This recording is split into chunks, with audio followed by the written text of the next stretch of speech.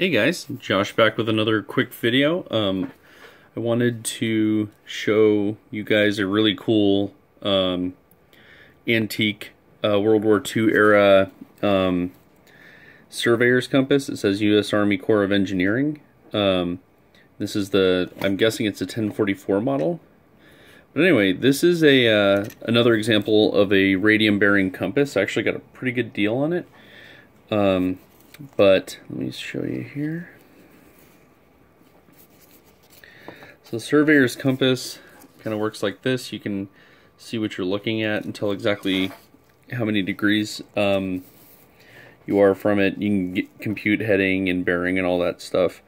Um, but anyway, um, this particular compass happens to have been painted with radium, so all that, all those brown um, burned lines you see are um, radium, and this watch is actually fairly hot. So let me show you first where all the radium paint is. Black light here. Let's see if I can get at least some of the fluorescence to... There we go.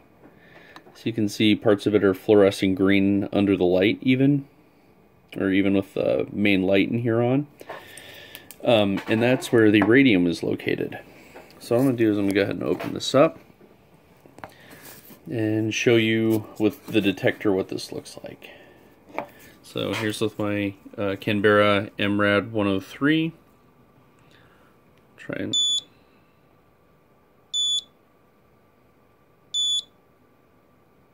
and the readings I've been getting kind of bounce around um, 1.1, 1.2 um, milliroentgens per hour, or yeah, milliroentgens per hour. It's actually a decently hot sample. Uh, here's my Canberra MRAD 103.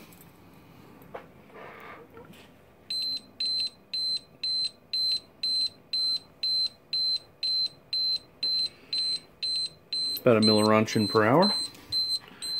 Turn the audio off. And we'll see how many counts per minute we get with a Ludlum Model 3 um, with a Ludlum 44.9 Alpha Beta Gamma probe. It's a pancake probe. So set this guy up so we can see it. Needle instantly buries on times 1. So I'll drop times 10, reset. And we'll go to, trying to keep the pancake probe about a centimeter off the top of this.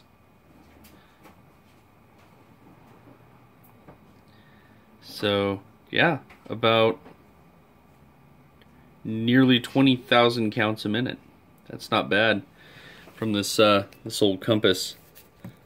Actually got a really good deal on this guy. It was about 40 bucks. Um, I've seen people at antique shows show, trying to sell these for as much as like 90, 100.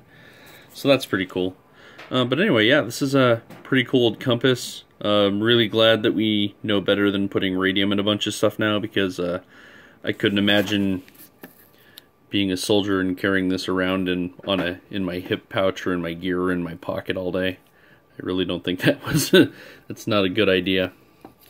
But anyway, yeah, just uh, kind of a cool sample, a little bit on the hotter side. Um, yeah, kind of fun.